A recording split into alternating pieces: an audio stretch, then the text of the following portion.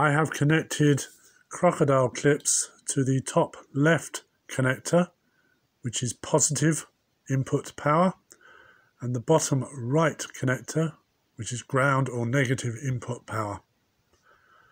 I have then connected these crocodile clips via a sort of Heath Robinson arrangement of wires to a 5 volt power supply. You need to make sure that the little switch is in the upward position. This means that power is supplied from the Jacdac to the microbit. If the switch is in the downward position, the microbit will not work.